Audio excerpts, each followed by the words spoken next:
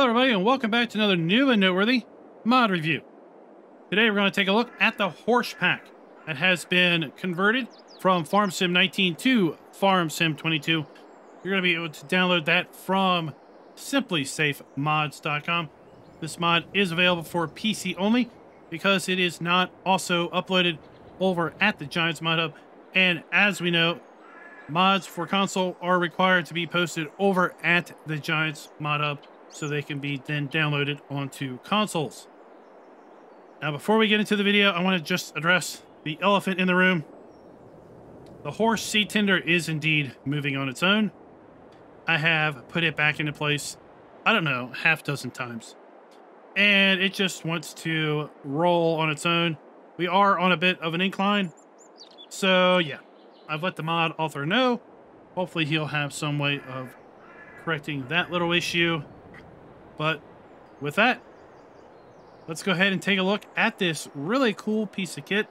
16 items are included in this mod pack. And when Farm Sim 22 came out, conspicuously, Horsch was rather underrepresented compared to how it looked in previous games. So what all is included? Let's go ahead and take a look at the shop. And the best way to find the things that are included with a mod pack is going to be to check out the new section, mods and DLCs in the shop. Right down here, this is the icon we're going to want to look at. And then we can go to the Horsch pack.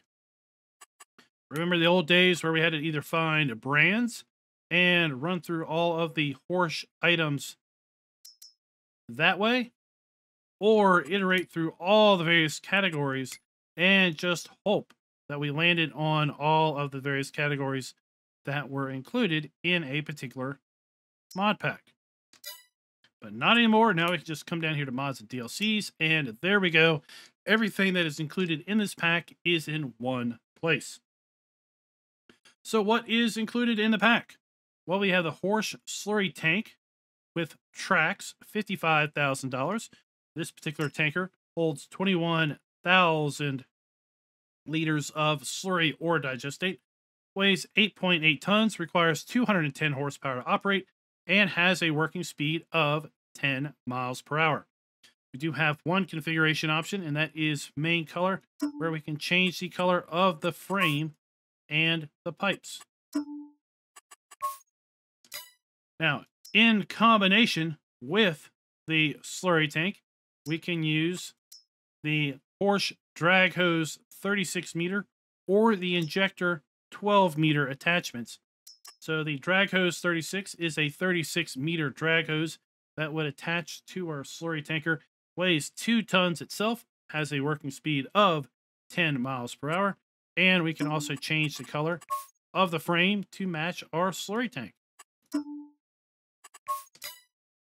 If drag hoses aren't your thing, then you can go to the 12 meter injector this increases the weight of the slurry tanker by 2.3 tons, requires an official or an additional 50 horsepower to operate. As I said, is 12 meter working with.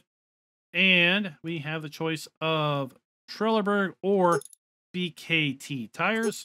We can change the main frame color once again to match our tanker. And we have the choice of rim color should we so want.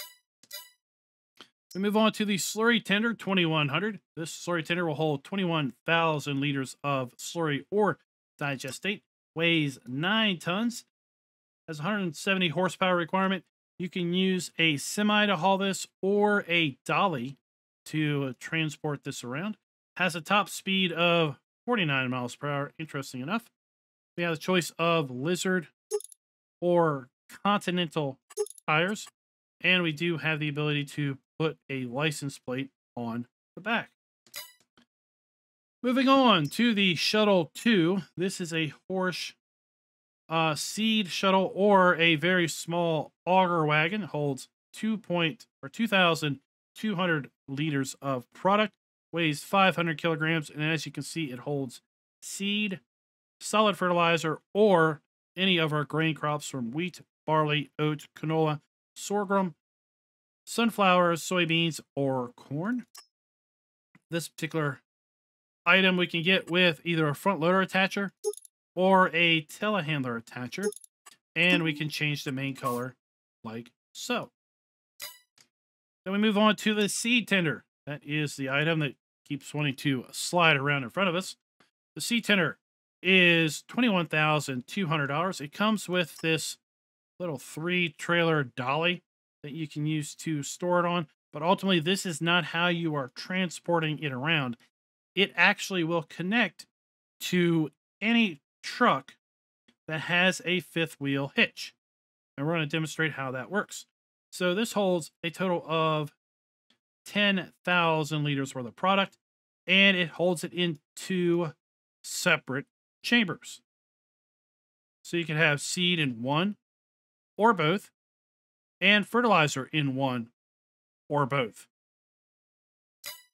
Then we move on to the Shuttle 8, $16,200. This is very similar to the Seed Hopper. It allows you to transport liquids and connects to any fifth wheel vehicle. Holds 8,000 liters worth of product, 3.9 tons, and has a total working speed of 40 or total operating speed of 49 miles per hour.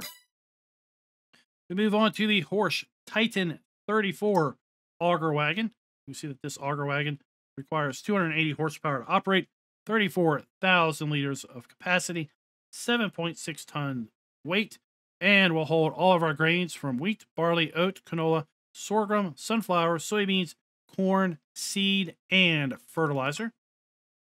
We have a choice of crawler track or standard tires. Then we have a choice of mm-hmm. main color. And then we have a mm-hmm. choice of rim color if we have the standard tires. Moving on, we have our first first Horsch seeder in the Evo 12.375.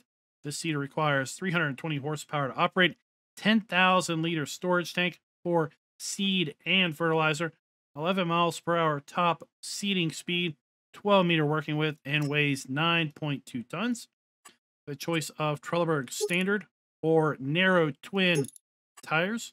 We go to Michelin standard or narrow twin tires. BKT standard or narrow twin tires. Continental standard or narrow. Mitas standard or narrow. Vredestein standard, or guess what? Narrow. And back to Trelleborg, we have the choice of main color once again to change the frame. Design color. We'll change the color of our seed and fertilizer hoppers. And then rim color will obviously change the color of the rims. Moving on to our second seeder in this Horsch pack, we have the Certo 12SC. $153,000 for this one. 13.2 meter, oh, sorry, 12 meter working with 13.2 tons, 11 mile per hour operating speed. This also, once again, holds seed and fertilizer and has 300 horsepower operating requirement. If I happen to have not said that already, this will work with seed, sorry, will work with wheat, barley, oat, canola, soybeans, sorghum, oilseed radish, and grass. Inside here, we have lots of configuration options. We have Trelleborg tires, BKT tires, Michelin tires, Vredestein, and back to Trelleborg. We have our main color once again to change the frame, design color to change the seed and fertilizer hopper, and then rim color to change, that's right, the colors of the rims. Moving on, we have a pair of planters. We have the Horsch Maestro SW1675, $159,000. This planter will plant our corn, sunflower, soybeans, sugar beet rash, and cotton. This will hold seed and fertilizer once again. Has an operating speed of 9 miles per hour, 12 meter working width, 10.1 tons, and holds 9,000 liters of seed. Requires 220 horsepower. As far as configuration, we have Trelleborg tires, BKT tires, Continental, Michelin, Mitas, Vredestein. We have the choice of main color And we have the choice of design color. And then we have the choice of rim color once again. Moving on to our second planter in this pack, we have the the Maestro SW2475. This one is a little bit bigger. This has a working width of 18 meters, 11 mile per hour working speed. Seed and fertilized are also accepted in this one. 9,000 liter total capacity and requires 270 horsepower to operate. Once again, we have Trelleborg in standard or narrow, single narrow. We have then twin narrows, BKT standard, single narrows or twins, Continental standard, single or twins, Michelin standard, single or twins, Mitas standard, single or twins, Vredestein, guess what? Standard, single or twins. Then we have main color once again, design color, and a rim color. Just like that.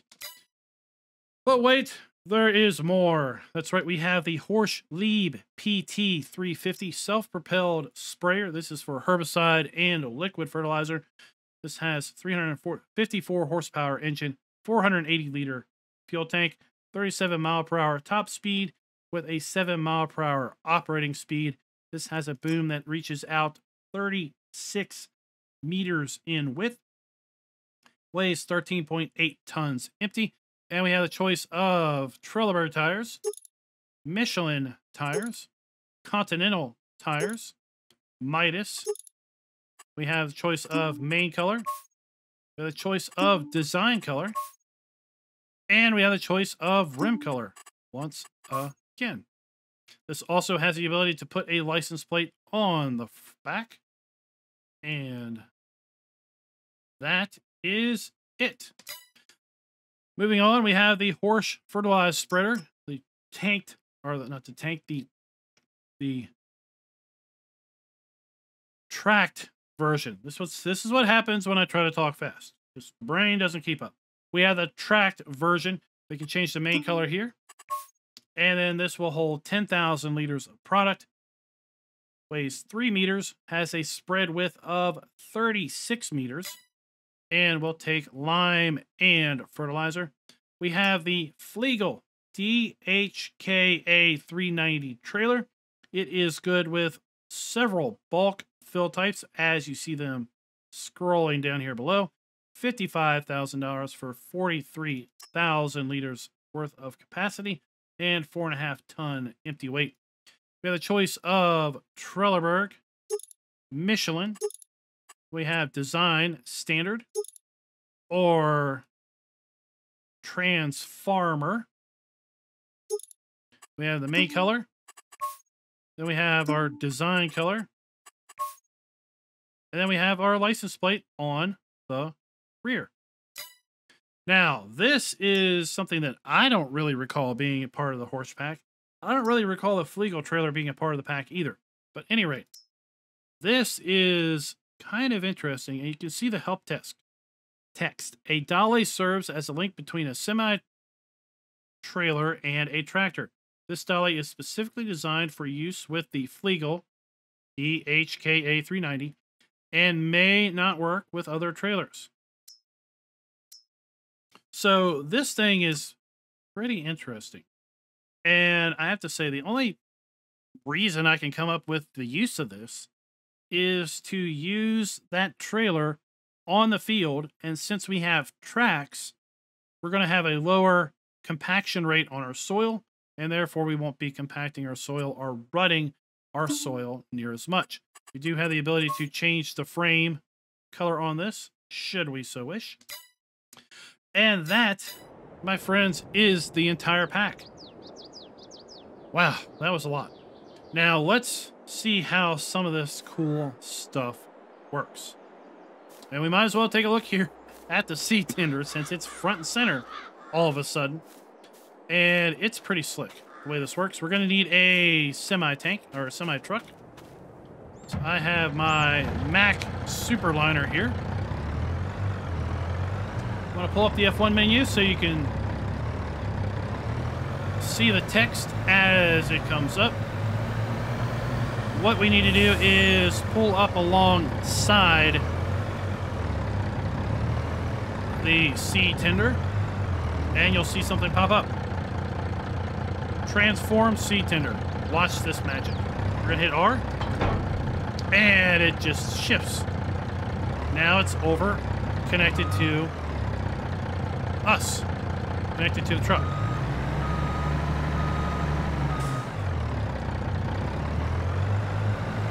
If we go back to the little little dolly, we can hit R again, and it shifts it back, if you will. It works best if something's attached to the uh, the little dolly, so it doesn't fly around so bad. At any rate, now let's take a look at the seed tender's operation. You can see I have it loaded with seed and fertilizer. The F1 menu, we have pipe out seed. So if I hit pipe out, okay, now I'm going to be able to dispense seed or dispense from the left container. If I hit pipe out again, now I'm going to be able to dispense from the left container. And you can see, maybe, maybe you can see down there the, the door is lifted. If I hit pipe in, it's going to fold it up. I'm going to hit it again. You can see the door there is open for the seed side. I'm going to hit it again. Now it's open for the fertilizer side. I'm going to hit it once more. And it's going to fold it all back up. Now we could, if we had a telehandler with a good weight on it, we could also just detach this from the truck like we just did. And then we can come here and pick up the unit with those little fork areas because now it's technically detached. If you can see up there in the little icon, we have the truck icon and that is it. If I Q, now I'm reattached and we're ready to go again. The same holds for our water tanker, or our liquid tanker, I should say. Let's put this back. And demonstrate the liquid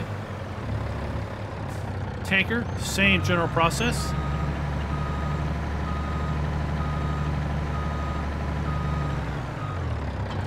Transform. And now we have ourselves a semi-tank with liquid pump on the back. As far as what does that take, let's go find out. So taking a closer look at this mod, this mod will hold liquid fertilizer, herbicide, water, and milk. Let's go ahead and just put that over here, out of the way. And we'll come and grab the next cool little bit of kit, which is the small shuttle. We have it configured here with a front loader attachment. And I have it full of seed. We can hit in to uncover. And we can cover it back. So we can use this to fill up or top off a seeder, should we so wish. Just gonna put it over here and disconnect it. Now, I think everybody is curious about this trail lifter. So let's go ahead and connect to that. And the way this works, you can see the you see the fifth wheel attachment here. Hold on. You can see the fifth wheel attachment. We need to unfold the trailer. And it will then spread the whole chassis out such that it can now accept the semi-tanker or semi-trailer. The trailer can be transported with a traditional semi, should you so wish, but what's the fun in that? We want to back up to this thing and hit attach. And now we have a semi trailer attached to the trail lifter. You can see it's up off the ground. Its wheels are not making contact. And like I said, the way I see this is it's designed to allow you to use the trailer in the field, but not have the compaction or the risk of rutting up the soil with the tires. When you want to disconnect, you just hit Q. Drops the landing gear, and now we can pull one out. We fold this thing back up when we are done using it.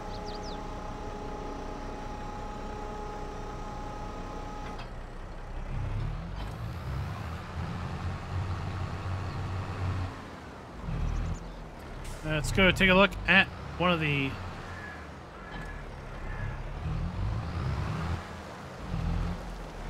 seeders. Is this a seeder or a planter?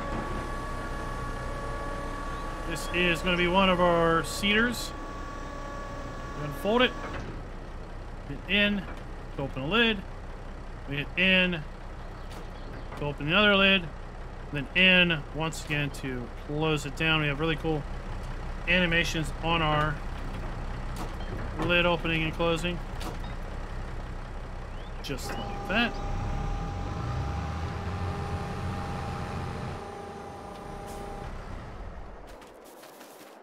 Now let's take a look at our sprayer. And you can see with the F1 menu, this sprayer is able to do the variable spray width in Farm Sim 22, where we can change the working width or even change which side is active or not active. Now, when you unfold this, there is a very long animation that you need to wait for. See this actually happening right here. We're going to hit unfold. First thing happens is the wheels spread out. Then the latch lifts up and the whole boom raises off its cradle and then it starts to spread its wings. So when you unfold this, you really need to be a little patient for it to complete its operation. There we go, left click, we can raise and lower the boom by going up and down. And like I said, this will work with the variable spread width, control Y to change the steering mode from front steering to all-wheel steer. Control Z to go down the various working widths, turning on and off various sections. And then if you have mapped the individual controls for the left and right side, as I shown in another how-to video, then you can also change that.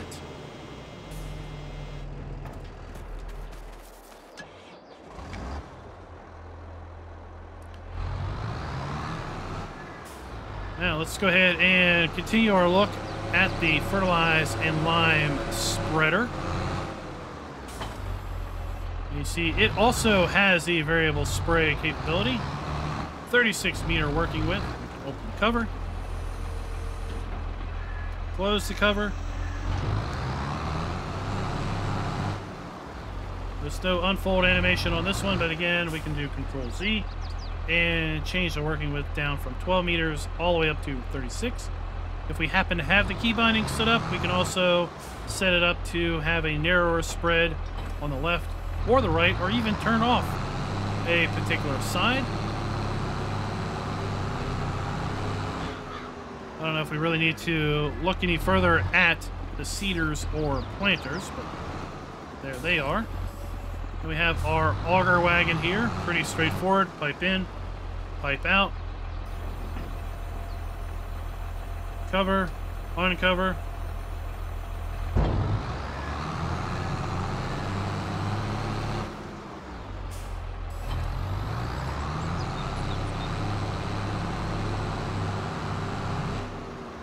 And then probably the last thing that I want to take a look at here is the slurry tank.